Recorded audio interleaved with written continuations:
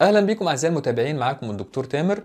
النهارده أنا هقول لكم على موقع بس بيعرفك نطق الكلمات الإنجليزي ومنها الكلمات الطبية طبعا اللي ساعات بتبقى معقده الميزة إن الموقع ده مش بيجيب لك نطق إلكتروني لأ هو بيجيب لك إزاي الناس فعلا بتنطقها سواء من محاضرة قبل كده من سكريبت عندهم أو في مؤتمر أو حاجة زي كده. تعالوا نشوف. والموقع اسمه YouGlish. بتيجي في العنوان وتكتب YouGlish dot com. وتضغط enter بيجي لك بالشكل ده.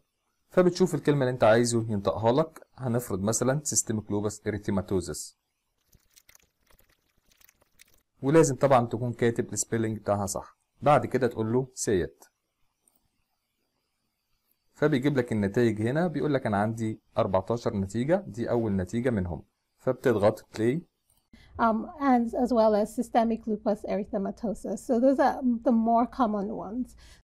لو عايز النتيجة التانية تضغط هنا My research is on systemic lupus erythematosus.